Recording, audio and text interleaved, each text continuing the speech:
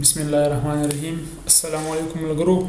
اوس پورې چې موږ څومره د جاوا پروګرامز لیکلي دي کمپایل کړي دي نو پروګرام موږ لیکو په نوټ پیډ کې بیا راځو موږ ډاس ته او ډاس نه موږ کمپایل او ایگزیکیوټ کوو خو هغه د پاره موږ چې فرست اف ال جی ډي کې انسټال کړو او جی ډي کې سره سره موږ بیا انوایرنمنت ویریبل یا پات هم سیټ کړو که تاسو بالکل کمپلیټ بګینرز یی نو تاسو ریکمندډ هم ده چې تاسو په نوټ پیډ کې خپل ټایپینګ کوئ او بیا د ډاس نه کمپایل کوئ دې سره دی چې تاسو د لانګویج په سینټیکس باندې بالکل پوه شئ خو چې کله تاسو مطلب په سینټیکس باندې پوه شئ تاسو 15 20 پروګرامز په جاوا کې ولیکئ او تاسو ته پته لګی چې جاوا پروګرام څنګه کمپایل کیږي نو هغه نه پس تاسو یو آی ډی ای تراشئ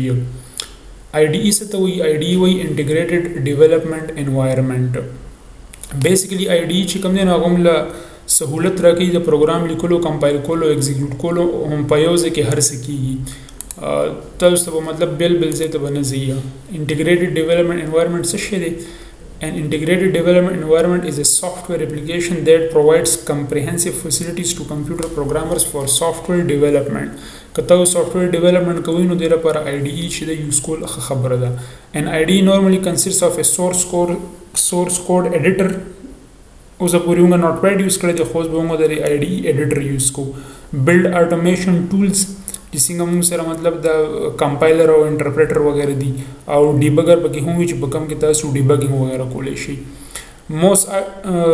ماډرن آی ډیز هیو انټیلیجنت کوډ کمپلیشن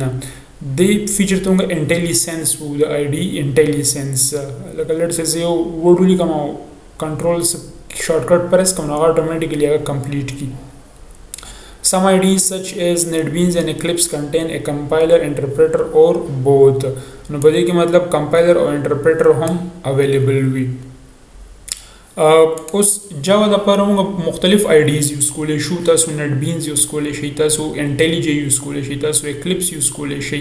خو دې سیریز کې به موږ دې نه مخکې چې کوم دی هغه موږ اکلیپس یوز کوو ترو اوټ چې اوس موږ څومره د جاوا پروګرامز لیکو هغې دپاره به موږ اکلیپس یوز کوو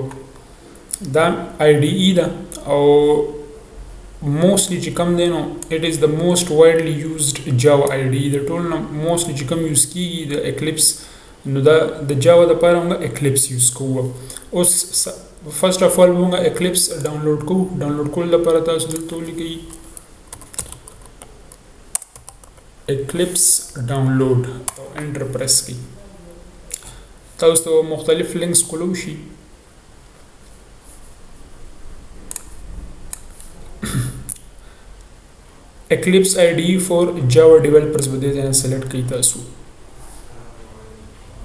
نو دلته کې تاسو سره اوس د دې مختلف ریلیزز دي خو د کې چې کوم سټیبل دی نو موږ به دې ځای نه مارس سلیکټ کوو او دې کې بیا زما اکلیپس آی ډی په کار ده د جاوا ډیولپرز لپاره جاوا ای ای فی الحال موږ هغې کې کار نه کوو موږ صرف چې کوم کور جاوا د هغې لپاره دیس ایز سفیشنټ جاوا ډیولپرز لپاره دا ما کلیک کو نو 167 ام بی فایل دی د دې ډاونلوډینګ به سټارټ شي او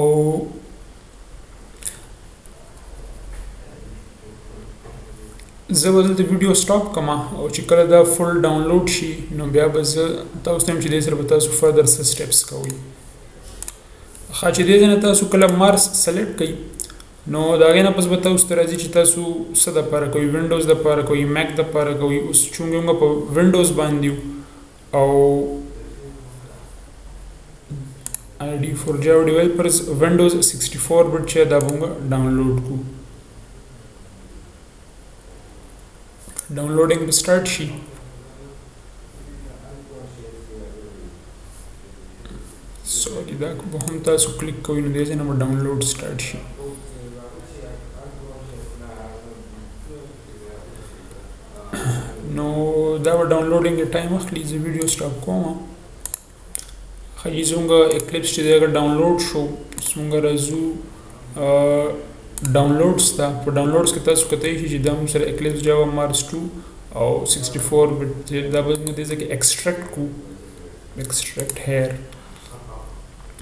د اکلیپس د انسټالیشن لپاره د اسم ضرورت نه وي تاسو به سیمپلی دا به اکسټریکټ کړئ نو تاسو سره به د اکلیپس فولډر چې کوم دی هغه به راشي په دې فولډر کې به تاسو سره اکلیپس ډاټ ای ایکس ای فایل وي هغه چې کله تاسو ډبل کلیک کړئ نو تاسو اکلیپس چې کومه آی ډي ده دا به لانچ شي لږ ټایم پکې پاتې دی دا اکسټریکټ شي نو دی نه پس ګورو چې دغه به کوم فایل سره کار کوو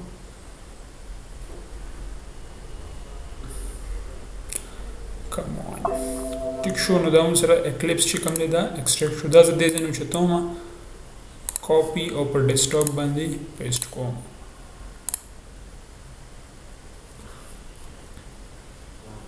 دا تاسو په اني ډرایف کې هر ځای کې تاسو خپل ځان سره دا کولی شي ښه اوس دا زه اوپن کوم اکلیپس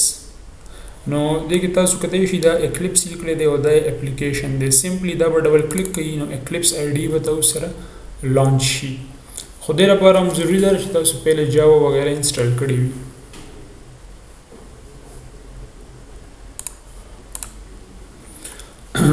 اچھا جی سلیکټ ا ورک سپیس ورک سپیس مینز چې کوم زموږ د پروجیکټس دي هغه په کوم ځای کې سټور کیږي نو بای ډیفالت دا سی یوزرز اډمن او ورک سپیس دی نو تاسو دا هر ځای کې دا کولی شئ لیټ سه دا ورک سپیس راولم ډیسکټاپ ته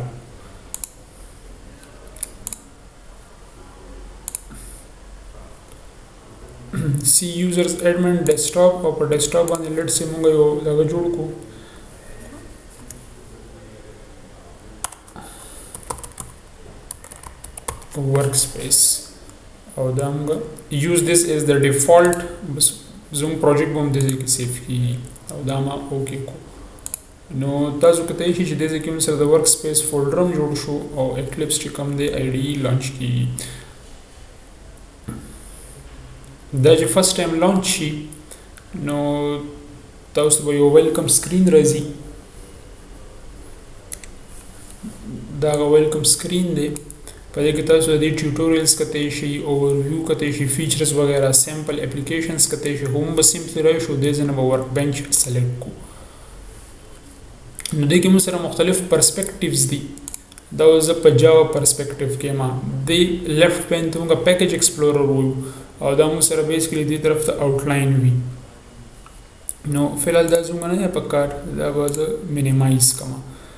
او دا هم زه مینیمایز کوم نو دا هم سره مینیو بار دی او دا به هم سره ټول بار دی په دې کې موږ پروجیکټ څنګه جوړو د پروجیکټ جوړولو طریقه دا چې تاسو برای شي فایل ته نیو ته او نیو جاوا پروجیکټ او دې لپاره ضروري ده چې تاسو جاوا مخکې نه انسټال کړی وي پروجیکټ له بزنو ورکه ملټ سي فرست پروجیکټ او دا به سیف کی کوم ځای کې دا چې کوم زموږ لوکیشن دی ډیسکټاپ باندې ورک سپیس او ورک سپیس کې فرست پروجیکټ او دا ما فینیش کو تاسو کده هی چې موږ سره دا فرست پروجیکټ رالو په دې فرست پروجیکټ کې به موږ سره دا سورس چې کوم دی اس ار سی فولډر وي تاسو په دې باندې رائټ کلیک کړئ نیو او په دې کې به زه یو نوې پیکج جوړ کما لیټس ا پیکج لزنو ورکوما فرست پیکج او دا زه فینیش کوم پیکج چې کوم دی نو هغه بیسیکلی کار کوي ایز ا فولډر تاسو کته شي چې زموږ پروجیکټ کوم ځای کې جوړ شوی دی په ورک سپیس کې په فرست پروجیکټ باندې او په فرست پروجیکټ کې دا سورس دی او په سورس کې اوس حاضر سات ما وکړو چې دا فرست پیکج مې جوړ کو مونږ چې اوس خپل کلاسز جوړوو نو په دې فرسټ پکیج کې به مونږ سره جوړیږي تاسو په یو سورس کې ملټیپل پکیجز هم اخیستی شي په دې باندې ما رائټ کلیک کو او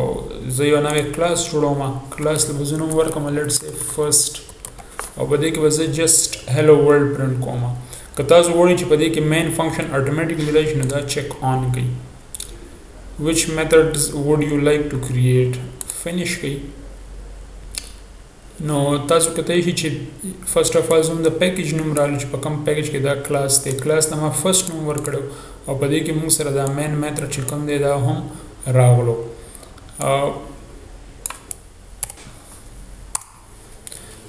که تاسو ته یاد وي چې کله موږ په سکرین باندې انپوټ کوو نو موږ لیکو سیستم ډاټ او ډاټ پرنټ الن خدا ډېر لمبه چوړه طریقه ده نو دا غي دا پروم سره دلته شارټ کټ ته شارټ کټ دا لري چې تاسو بس سمپل ولیکئ سیس اوټ او کنټرول او سپیس به پریس کړئ کنټرول سپیس نه به تاسو دا کمپلیټ کړئ اوس دې کې په ډبل کوټس کې تاسو ولیکئ لیټس سه هلو ورلد سیف کوي اوس د دې د رن کولو طریقه دا چې تاسو دا کته شي دا د رن بټن دا تاسو کلیک کین نو تاسو اپلیکیشن به چې کوم دی هغه به رن شي